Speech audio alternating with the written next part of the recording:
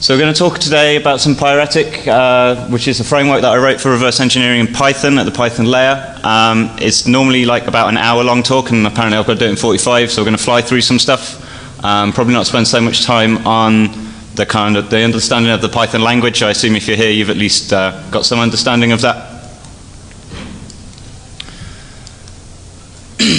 So why reverse Python, which is probably a good question to begin with. Uh, most people reverse at C or the assembly layer.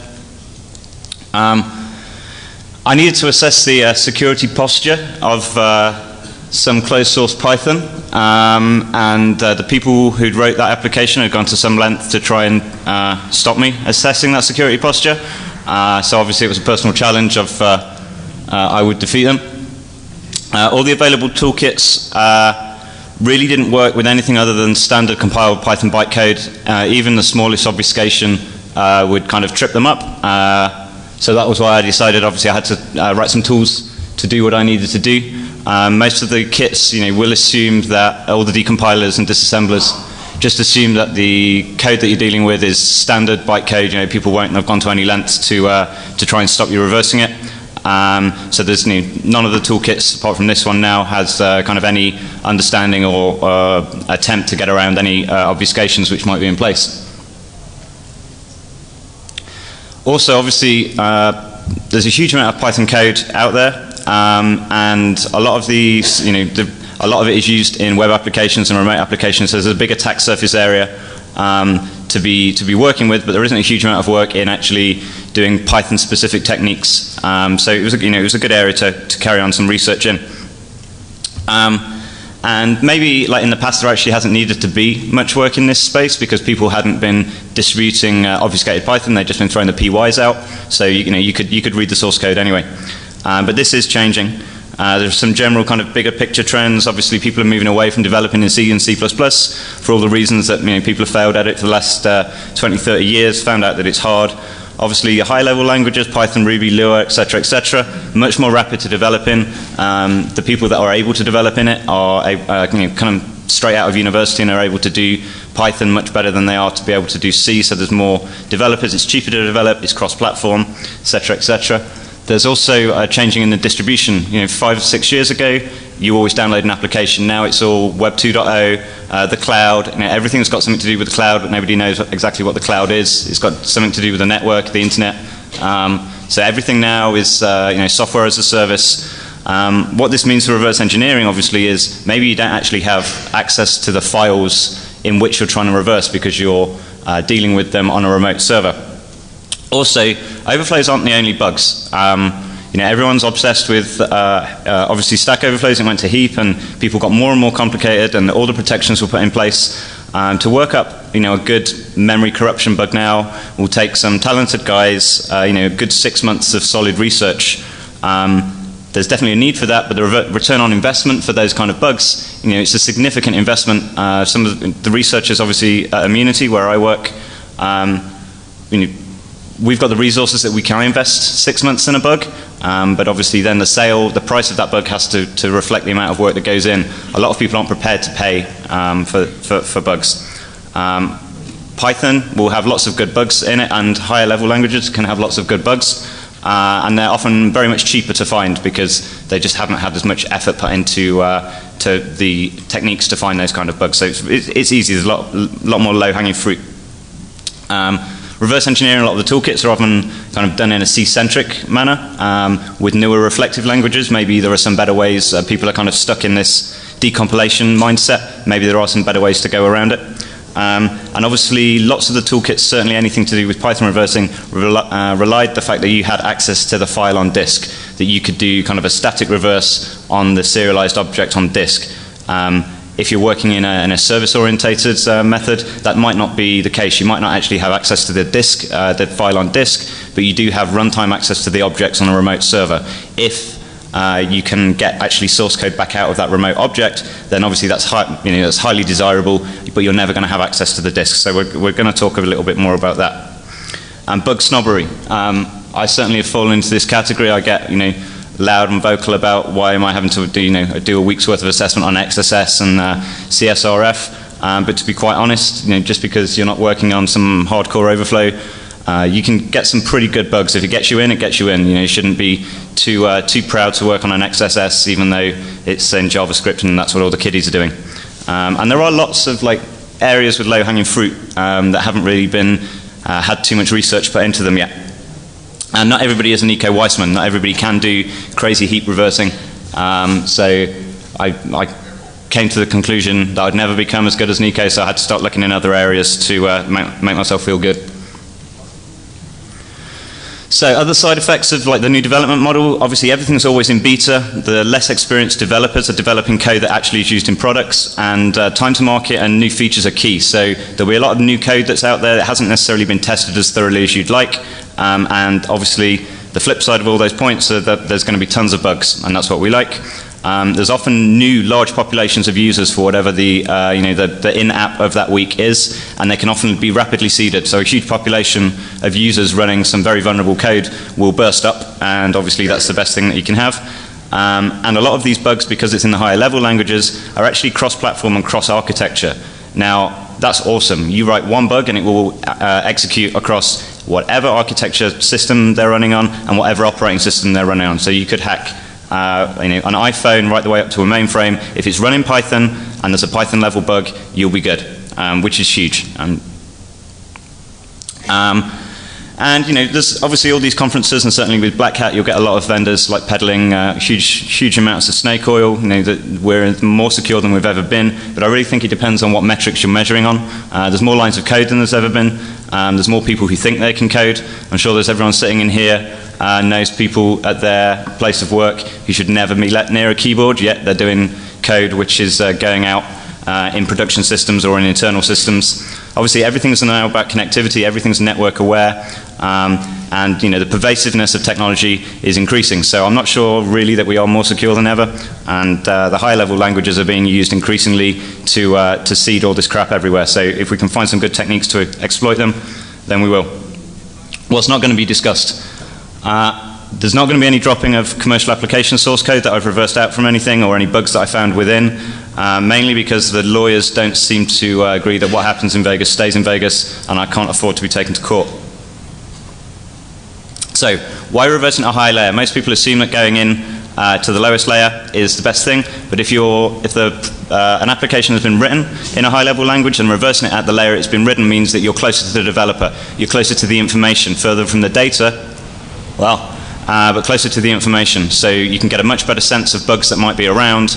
Um, you know, we're not assessing the security posture of the Python runtime. That does have a ton of bugs, but we're looking for uh, bugs in the Python code itself. So reversing out the layer that the, uh, the code was implemented in is the best thing to do. I'm not sure how clear this will come out, but uh, you, can, you should be able to see here there's uh, this is uh, reversing like in a normal debugger, and you'll see a lot of callouts to kind of uh, the Python DLLs. Even to do something simple, uh, so, you know, like print a hello world, there's actually a lot of uh, layers in between you and the code. So it gets very, very complicated, and even to do simple things can actually make uh, take quite a lot of effort. And obviously, you know, Python is a fairly complex language. It's got uh, you know quirks and flaws and bugs, just like every other language. Um, but like I say, a lot of the people that develop in it are maybe less experienced developers. They don't really understand so much about uh, you know how computers work. Um, so there's, there's kind of mistakes that everybody makes. I'm going to just highlight a couple. Um, you know, anybody out there that's good at Python that can see the, the, the, the problem with this code? Shout. All right, I won't wait long. There's only one. Uh, well, yeah, the var is uh, a class rather than an instance attribute. So you can see if uh, you, on foo and bar, which are the instantiations of the test class, if you actually print out the var variable, uh, both of those ins instances of the class share the same variable because the variable is at the, uh, at the class layer. People make this mistake all the time. Uh, if they uh, make a new instance of an object on a shared system, you can actually get access, uh, depending how they use the, the, class obviously, you can get access to uh, other people's objects, which depending on the situation can be a good thing. Anybody can see the problem in this? Okay. it's a mutable default argument here. So when it was called uh, here with an argument going in, we're all good. It acts as, uh, as you know, a foo is appended to the end of the list that was supplied. That's as expected.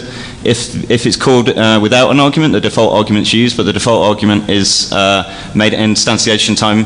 Uh, so again, it is shared. So the, you call it twice, and the list is growing. Um, I've seen a lot of people make this mistake. Uh, certainly in remote applications, they'll have socket objects here. It means you can access somebody else's socket object, and then uh, you, you've got to route back to a different client. Um, so obviously, like every language, there's a ton of these bugs that maybe inexperienced developers don't really understand because they don't understand uh, really how Python's doing things. It's just a fairly easy language to write in. Uh, so lots of people make some pretty simple mistakes. So what were my initial aims for, for doing this? I wanted to be able to have a toolkit that would rapidly uh, assess and find bugs within uh, applications, uh, even if they were obfuscated and I didn't have access to the, to the .pys uh, themselves. Obviously, I wanted to get back to a source code representation from uh, you know, a live memory object, and I'd prefer to have a general approach against all the ways that people are obfuscating bytecode rather than a specific approach for each different thing, because obviously that's a cat and mouse game and it's going to take a lot of time to carry on. So if there was a general way of defeating what people were doing, um, then I wanted to take that. Obviously, there was because I'm giving this talk. So we're going to blast through this because we haven't got much time, uh, like 101 uh, of Python language. Uh, so obviously, there's a fair amount of different file types with Python. The PY is the one that everyone will be familiar with. It's where the source code lives. It's human readable. Uh, obviously, you can take that PY or run on any uh, Python platform. Uh, then there's kind of the compiled and serialized versions of, uh, of the Python languages. PYC being the uh, you know the kind of most ubiquitous one is a standard serialized form. We'll have a look at the format very quickly. Um, anytime uh, Py is compiled or, or imported, uh, import obviously implicitly compiles. Uh, a PYC will pop out uh, of the and a, a, PYC will pop out, which is the you know the bytecode equivalent of the PY. Um, contrary to popular belief, it doesn't actually speed up execution. It purely speeds, speeds up instantiation uh, because you miss out that compile step. So you don't need to recompile every time you run the application. It is cross-platform. A PYC will run on you know, Linux and Windows, um, but it's not cross-Python version. So a 2.4 PYC won't run with a 2.5 runtime. Um, and it is purposely undocumented by the Python developers to allow them the flexibility to change the bytecode format without breaking a bunch of stuff where people have relied on it.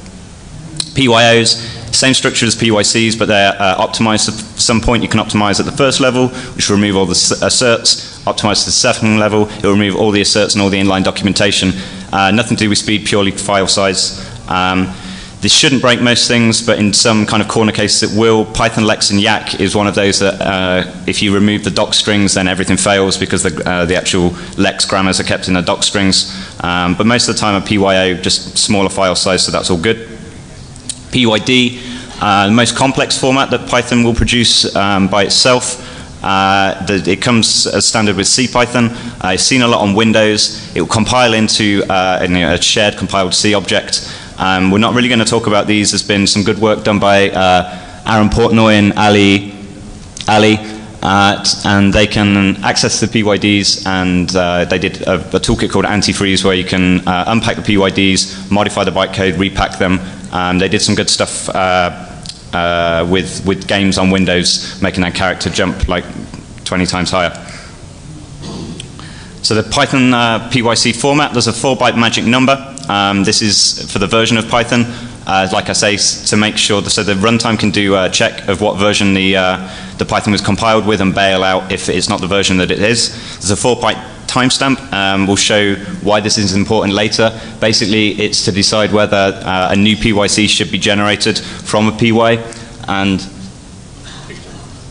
uh, there's a marshaled code object, which is the actual serialized code object uh, where the Python code resides. You want to say something? So I don't know if you're talking. Go for it. well, we made it to 2 o'clock this afternoon until I had to come and yell at you. Several someone's are stiffing Kady's, who have been very nice to us for $100 plus bills. As in seven people eat, get up, walk out, leave the bill. Very, very uncool. Let's apply that whole new social media thing or whatever you guys are calling it if you know who they are, pressure them to go pay their bill. If you know who you are, go pay your bill. If you're thinking about doing it, don't. The, the number's risen enough now that I'm coming over here to make an announcement about it, so it's not just one group.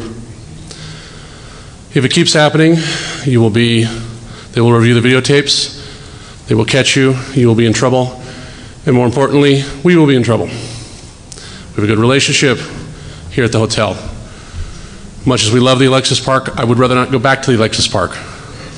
It is not a lot of fun doing CPR on somebody in 110 degree weather. Please don't send us back to the Alexis Park. Or I promise you, you and I will sit down and have a little talk. Okay, guys? Be responsible, be adult, get your friends to go pay their bills. Thank you. Okay, so it sounds like someone's fucked up.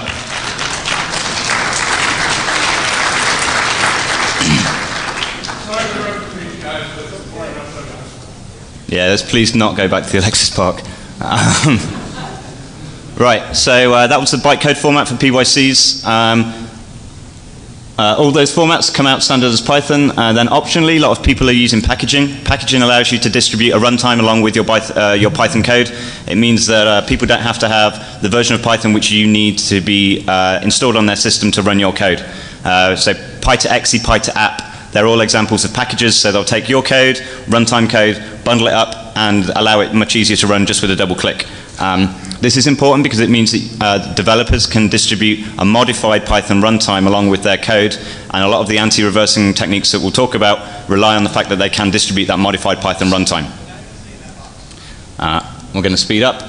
So this is the object hierarchy. We're going to blast through this. Uh, obviously, modules. The only thing to note is that a module doesn't have a code level object. Uh, it doesn't have a code object once you've imported it. Um, this is for speed reasons. Uh, once it's imported, it's not needed. Um, so it's a language design issue, uh, but from reversing, it's a real pain in the ass.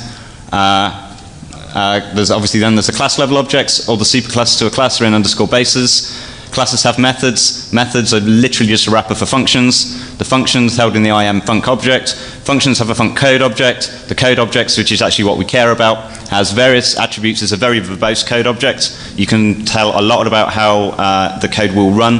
The, the biggest one is the co_code object. That's actually a string representation of the bytecode, so we're going to be able to access that and start reversing things out. And then there's all these attributes here that, you know, constants and variable names, uh, you know, the line numbers that stuff was, uh, the function was instantiated at, all really useful information as we get into some of the techniques. So all you need to know is that from, the, you know, from all the uh, Python uh, objects, like the code is the one that we're really going for and everything else just stacks into that. So We've blasted through this pretty quick. Python has uh, you know bytecode language. Obviously, it's a pretty simple language, um, and every every uh, opcode just is a, a you know a, an 8-byte opcode. So there's only 200, uh, 256 available. Currently in uh, Python 2.6, there's 113 devi uh, already defined. Optionally, uh, one Python opcode can take arguments. All arguments are two bytes. So if this is a Python source, just print bugs. When it goes to its uh, bytecode instructions, you can see uh, there, uh, they, these are the different instructions names. Each of those will map to a single integer, uh, just, a, just a, a mapping between a number and the, the instruction, and some of them uh, take arguments. And this is the, the byte stream, so you can see that 6.4 you know, would relate to load const, and it took two arguments, both of which in this case were null. Well, one argument, and one argument is always two bytes. Oh, fail. Okay, so we blasted through the Python. Uh, we're going to run through this and then actually going to get onto the new techniques. The existing stuff that's available, dis, uh, disassemblers. There's dis that comes standard with Py. Um, it will, the representation that you saw from source code to instructions, that was just done using dis. It will just dump out the bytecode for you. The important thing is it relies on opcode.py, which is the Python level uh, module which gives you those number to instruction mappings. Oh, fail again. So there's debuggers. PDB is a standard Python debugger. It comes again with, uh, with normal Python, um, but it's very much a developer's debugger. It, it, assumes that you're going to have access to the PY. It is for finding bugs as you're developing as opposed to finding bugs in other people's code. Um, so that was what I based a lot of my stuff on, but, but extended it up to be more useful when you haven't got access to a PY file, only the PYCs. Decompilers, there are a bunch of decompilers, um, some of which are uh, you know, an application that you download, some of which are an online service. Why you'd want to use an online service to decompile and give the people your source code, I don't know, but people obviously do. Some are free, some are commercial. They do definitely vary in quality and uh, depending on what version of Python you're running. um, the, the best free one that I found that I based a lot of the stuff that we'll talk about in Pyretic on is UnPyC, uh, some from a Russian developer. It's not perfect, but it's, it's good enough in most situations. Uh, for the online services, dpython is certainly the best. Uh, the quality of their decompilation is really good, but it's not free and you're giving them your source code, so it's up to you. Bytecode assemblers and modifiers. Um, BytePlay and bytecode assembler are, are certainly uh, good ones. Antifreeze is an example that we've already spoke about for PYDs. These allow you to work at the Python bytecode layer rather than at the Python source layer. If you're interested at the kind of this level of Python, they're certainly good to play with and you'll learn a lot more about how the Python runtime actually operates by playing with them.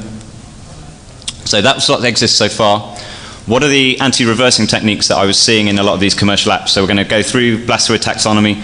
Um, like I say, increasingly commercial and closed source apps are putting obfuscation techniques in to stop you getting at their pie because obviously, you know, they, they've put their effort into, uh, you know, uh, capitalizing on, on that and uh, there will be a bunch of bugs in there. The more effort that they go to, to to keep the source away from you, the more you know there's going to be bugs in there. Um, I looked, at, I've, I've, worked with Python a lot and there was a bunch of different techniques that I've seen, so we're going to blast through um, these techniques all of these techniques mainly focus on when the bytecode is on disk, when there's those PYC files uh, on disk, all the techniques focus on uh, obfuscating that PYC file so you can't, uh, it, making it so it's not in its standard form. So all the basic tools that we've just talked about break. And that's pretty much the approach that everybody's taking. So uh, the simplest one that you see a fair amount um, is just hiding in the packages. You know, the Py2Exe, PyTe app. People believe that if they wrap their code in that, then you can't get access to it. Obviously, it's, you know, it's standard formats. Um, it's easy just to reverse out.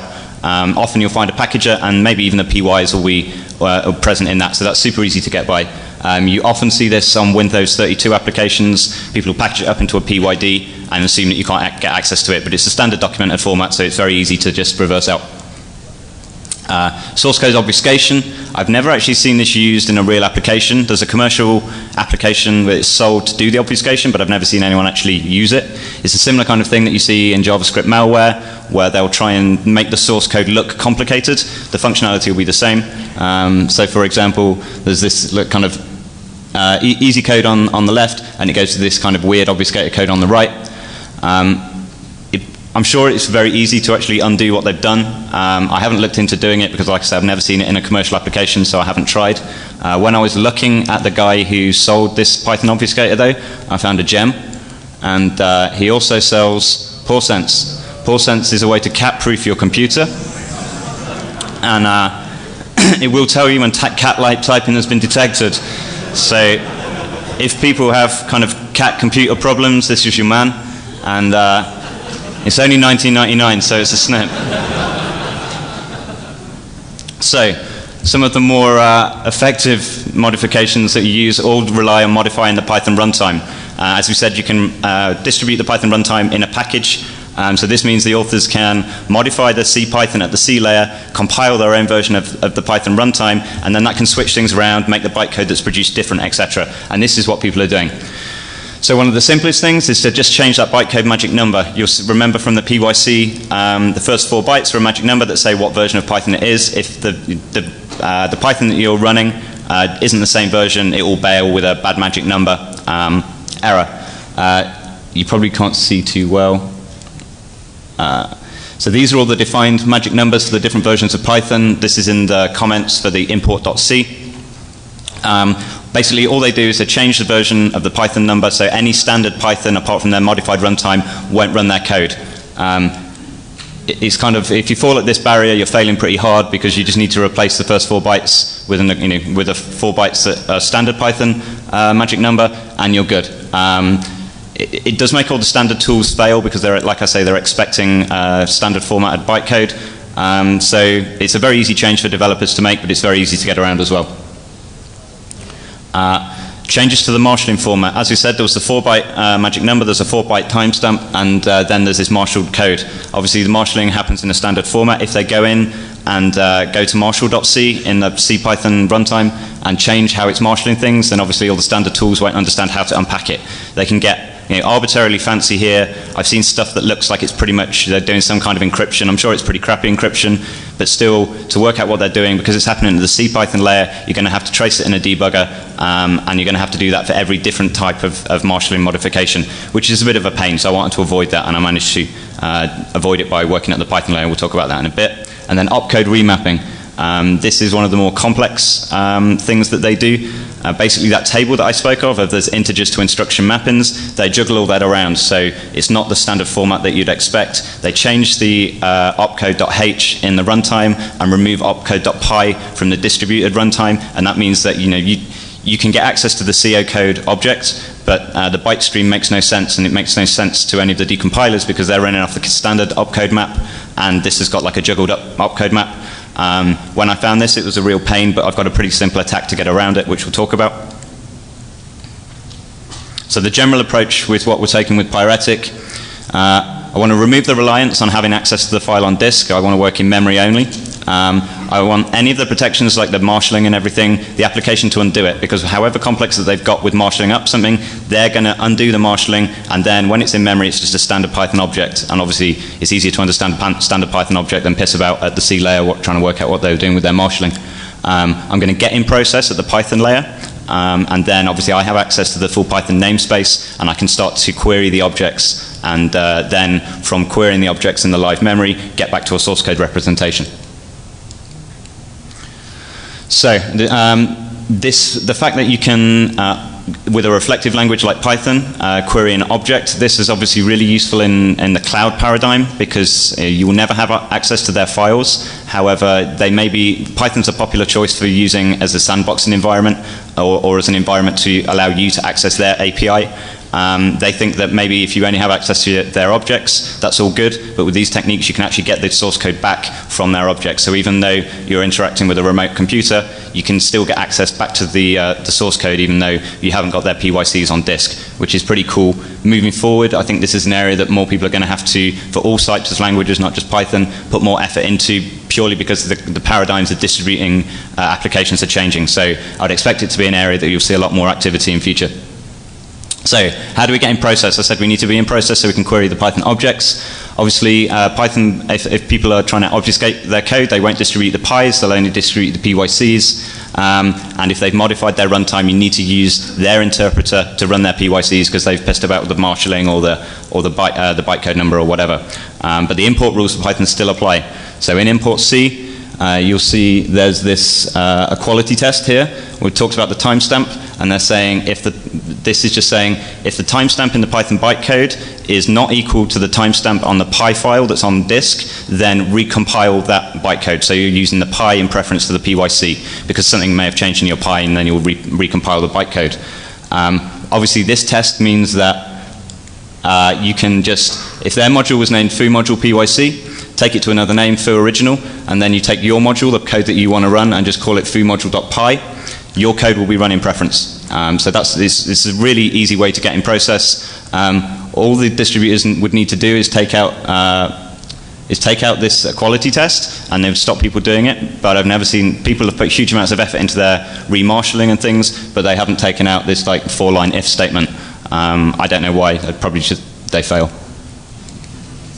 Um, so obviously our PY takes precedence, and then because we, you know, we're running arbitrary Python bytecode, now we can start to uh, query those objects. Um, there's some code that I haven't got on disk, but it's in the paper for blindly mirroring the object that you've replaced, and so you're acting as a proxy uh, between uh, the object that you've renamed and your and the object which is uh, the the code which is calling you, um, and you're literally passing the calls on into the object. Um, so the code's in the paper. Um, it's pretty useful.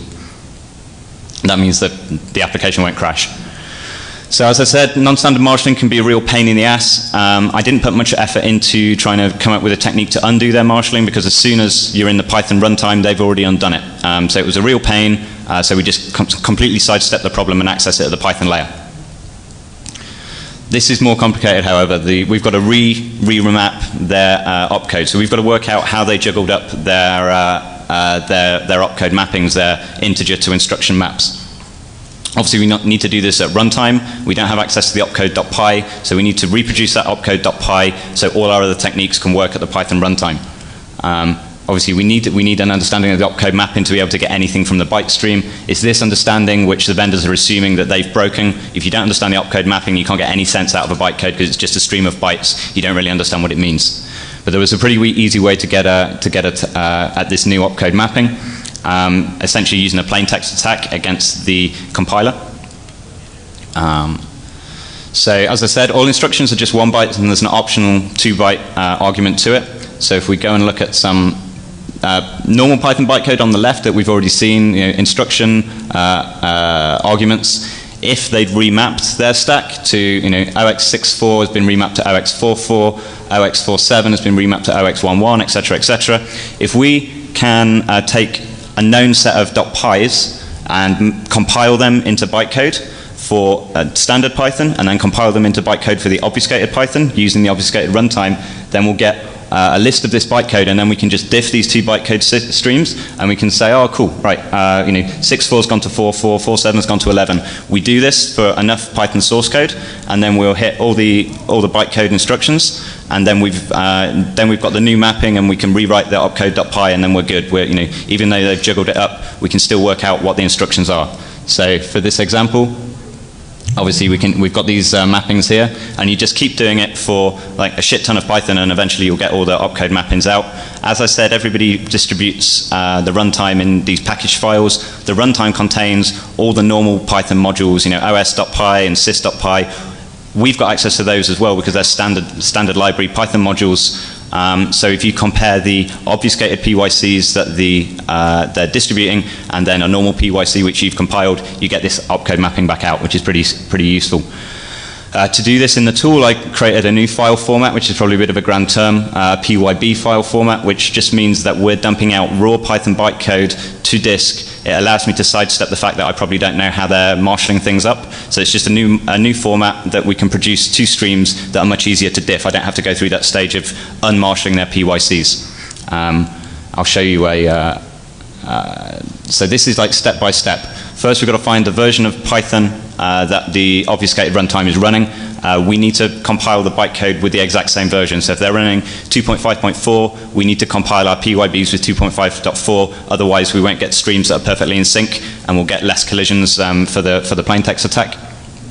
Um, so find out the, the, version. We use a standard library Python to, to compile up all the PYBs from in process. Uh, we compile up the PYBs from in process of the obfuscated runtime, compile up all the PYBs, and now we've got two systems that we can diff. Uh, we diff them, uh, we get our new uh, bytecode mappings, and then we rewrite opcode.py. And for, for unpyc, we need to write opcodes.py, which is its equivalent of it, and then we're good to go. So even though they've gone to all this effort, now we've remapped their opcodes, we understand what their byte streams mean, and we can start to decompile.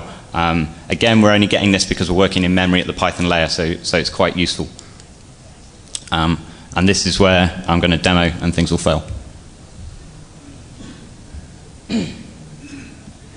so, uh, so I've got a little test application. It's really lame, but uh, it, it, sh it, shows the point. Uh, RePDB is my uh, reverse engineering version of PDB. So we'll start that up and we'll have a look at the, uh, the uh, oh, I'll put it into the middle of the screen. Uh, so we'll just set a project. You can see all our source code is going to be dumped out to a particular directory, and you can see the project uh, you know, was, was created here.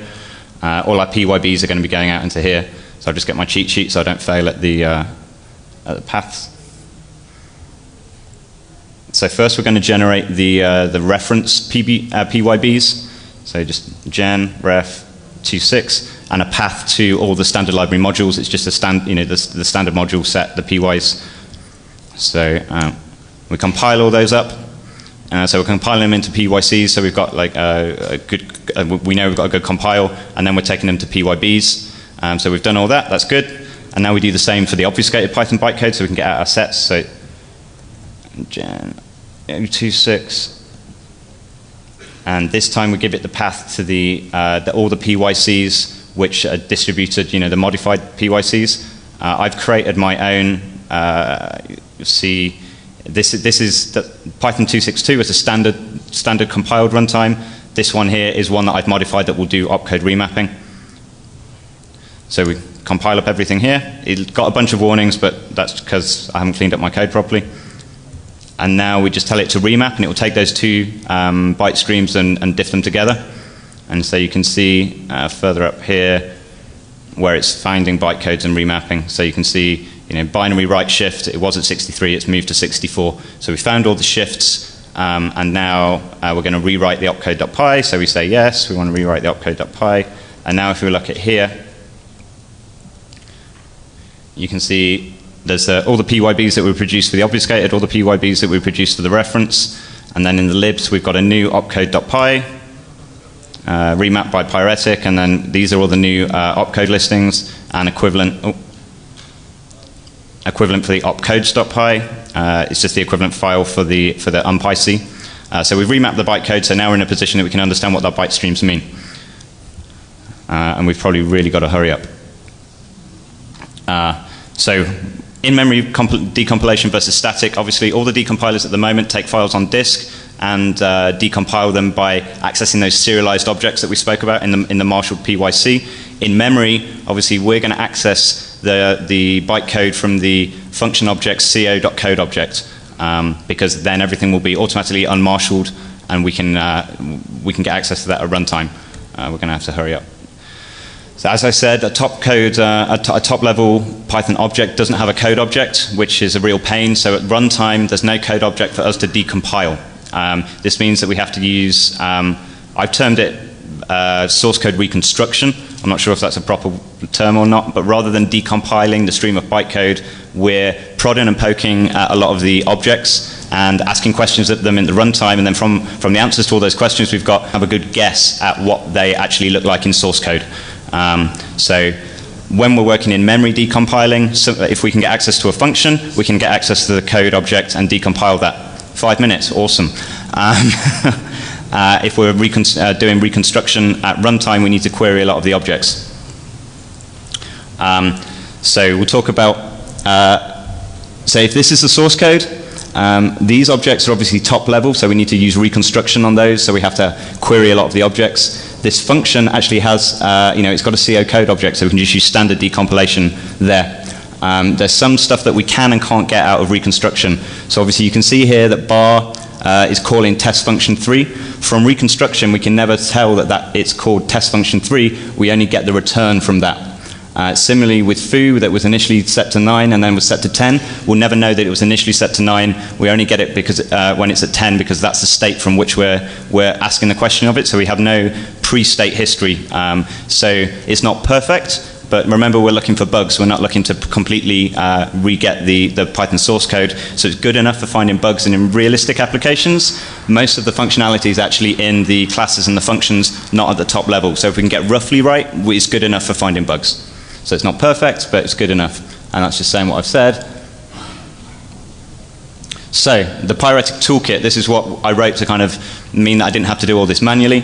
Uh, obviously, it came from my real need to actually find some bugs. Uh, it's kind of in three uh, sections. Uh, there's the uh, decompilation section and, and uh, source code reconstruction that we've just spoke about, and it will do three types of decompilation depending on the kind of obfuscations which are in place and the access that you have. So there's file system traversal module object decompile, which means that you're walking the file system, uh, you've got access to the file system, you've got access to their PYCs, um, and you will take those PYCs and they also give you access to their unmarshalling. So they haven't restricted access to their unmarshalling. You can take the files off disk, unmarshal them, throw them in memory into the decompiler, and get the source code back out. Um, oh. There's file system traversal, so you've got access to the code on disk, but you don't have access to the unmarshalling. Um, so this means you have to do the source code and reconstruct, and uh, sorry, source code reconstruction and the uh, actual decompile on the objects that you can access with a co_code object. Um, again, you get pretty good uh, decompilation out of this, but not perfect, not as good as the first case. And then this case is when you don't have access to anything on disk. You've only got access to the objects in memory, uh, so you've got to do, you know, you're, you're not traversing uh, the file system. So that means you can only decompile anything which has been instantiated at the point that you're in state.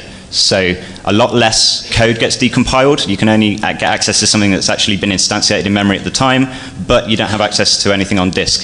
So you know you'll get less code decompiled, but at least you'll get something. Uh, this is the opcode remapping, which you saw demoed earlier. Um, so it's all packaged up in a nice, easy to use way, so you don't have to do it all by hand. And then there's uh, the, the re-PDB, which is kind of my version of PDB. It builds on, it just superclasses out PDB, um, but it allows you to access uh, lots of extra functionality, which is useful for assessing uh, the code uh, at runtime. And uh, things like it call through to third-party modules like uh, PyCallGraph, so you can just get a nice call graph out and actually understand what that code's doing at a very high level. Um, so yeah, some future directions. You know, there's lots of lots of potential to actually take this more uh, usable by other people rather than just me. Um, I'll just show you the the decompilation of the three types, and then I'll be kicked off. I think. So we've already done all the remapping. So we've got the opcodes. So now we're going to do uh, the three decompilations, so you can see how the source code kind of differs and degrades when you're doing the pure in-memory stuff. Uh, so we do, first we'll do the file system traversal. So file system traversal, so file system traversal, unmarshal and decompile. And this is the, uh, you know, the silly test application which I pulled up in using the obfuscated Python runtime which I compiled. So it's pretty quick because uh, it was a simple application. So we'll go to our source code and then this ridiculously long path.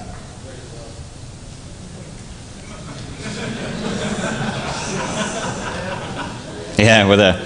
Uh, so this is the PYC that's been decompiled through the first method. You can see it's pretty good. Um, you know, it, you get some uh, strange things where things are specified as longs, but the, the you know, it's a pretty, a pretty good decompilation. You'll see things change when we're doing the pure, uh, the pure memory stuff. So we'll do this again uh, with uh, file system mem decompile to the same path. Again, pretty quick.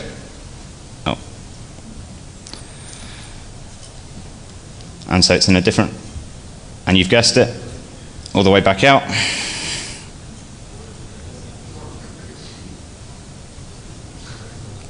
We're there. You'll see here uh, things like this was a function call, but we only get the return value from that function call for the reasons that I said earlier. And you'll see that some of the classes kind of have a, an elongated name because that's where we got the, uh, in memory when we were asking a question of that class object. This is the answer that we got. So Again, not perfect, but good enough for finding bugs, definitely. And then the, uh, the pure memory decompile, uh, we need to obviously import the object. So if we import the test app, and then we do a pure mem, oh actually I'll show you, it's, I'll show you it's in, so you can see that it's actually in, uh, you know, in the namespace of the, of the debugger. Uh, so if you do a pure mem decompile, on this object. So obviously we're not passing it a path anymore, we're passing it an object because we are assuming that we don't have access to the path. It'll do the same thing. Oh. And if we go to the mem object, now we don't have a long path. And you'll see that it, you know, it's come out again, it kind of, you know, we only get the return values, um, but it's pretty much similar to the previous one. So uh, the decompilation is pretty good and we had no access to anything on disk. This was source code coming out of an instantiated object in memory, which um, Obviously, it's a simple test app, but it's pretty powerful what you can do with that um, moving forward. So I think I've completely run out of time. Uh, if I can get back to the Prezi, fail. Uh, so completely run out of time. Uh, are there any questions? Awesome. That means nobody followed. Even better. Um, the other thing that I'm going to announce is there was a, there was a hack cup for a lot of teams, uh, a lot of hacking teams playing in a football competition yesterday. Uh, so these are the results to that. Team ZA won, and they won a load of tickets to um, uh, Ekoparty down in Argentina, so that's pretty cool. And uh, Nico, who put this cup on, uh, is going to be throwing it again next year. So if people are hackers that like football, which I know is a strange mix because that means athleticism and getting out from the basement, um, but it will be on next year. So if you want to enter a team, uh, get in touch with Nico Waisman, and uh, he'll give you all the details. Other than that, thank you.